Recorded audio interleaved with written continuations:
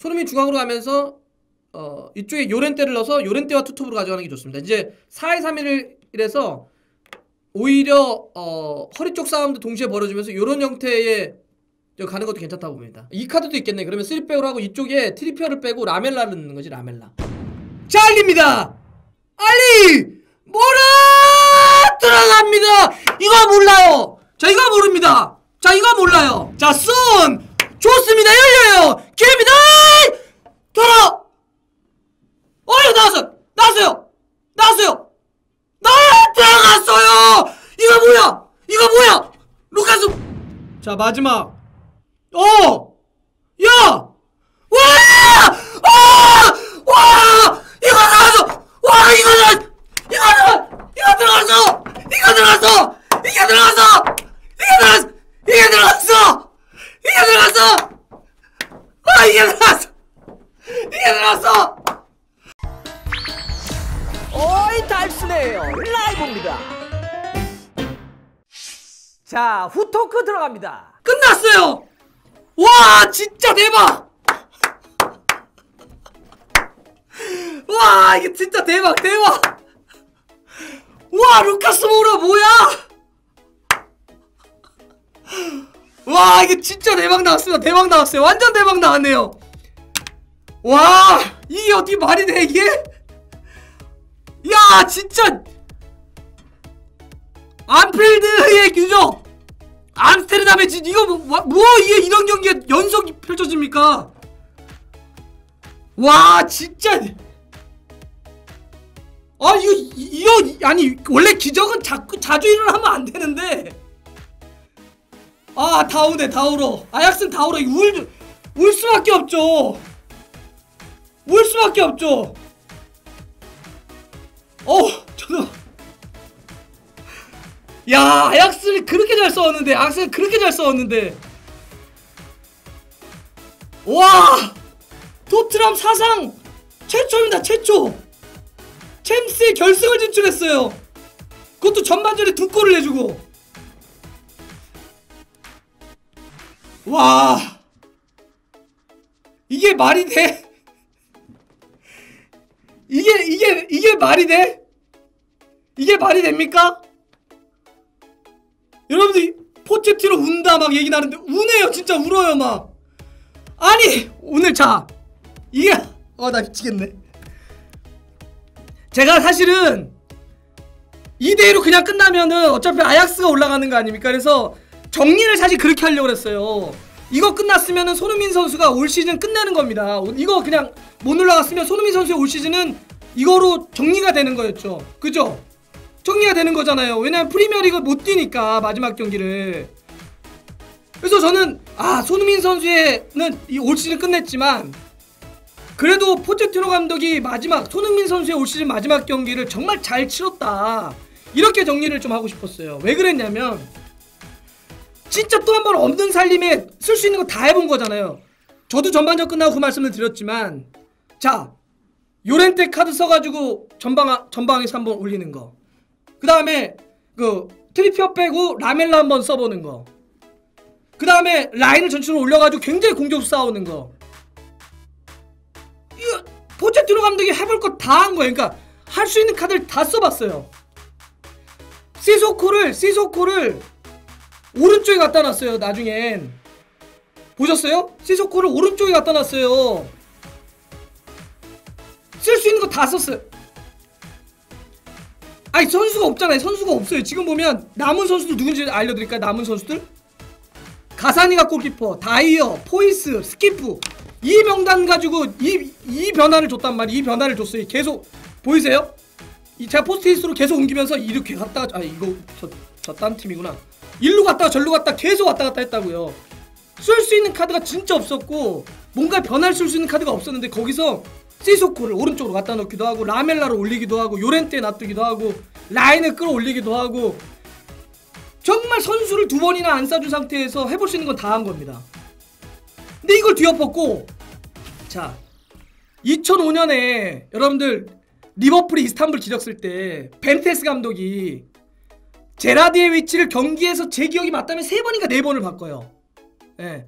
계속 제라드 위치를 바꾸면서 전술적으로 대응을 한 게 굉장히 화제가 됩니다.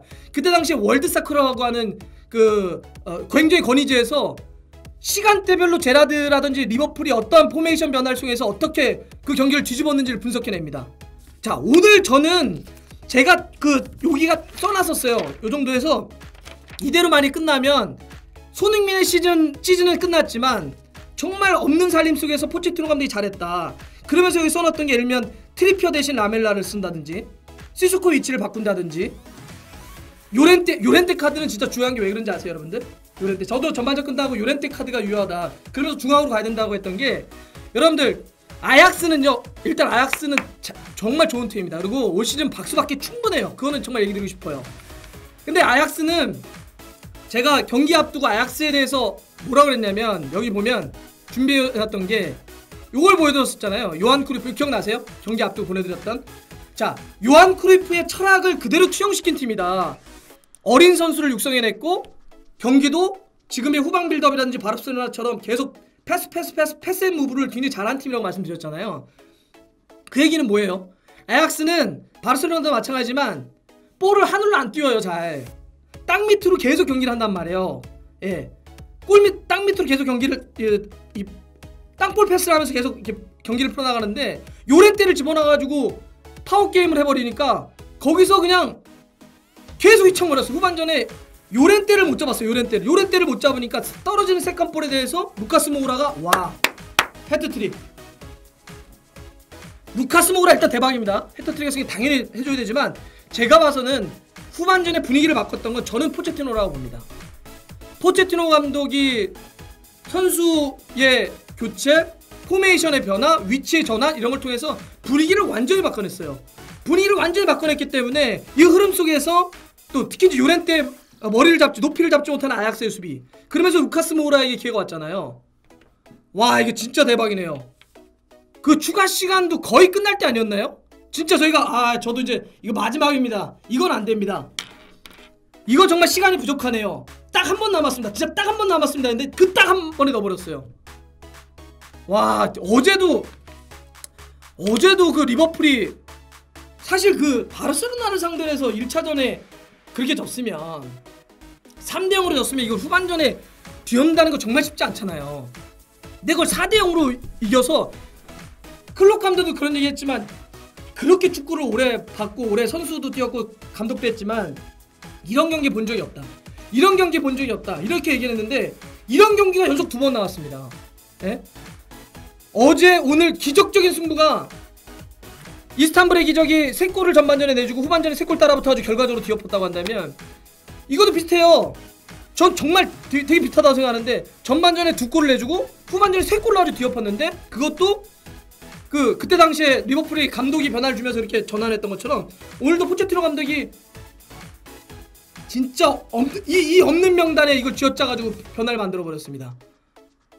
와 진짜 진짜 대박이네요. 이거 여러분들 오늘 라이브로 보신 분들이 승자고 예 진정한 위너십니다.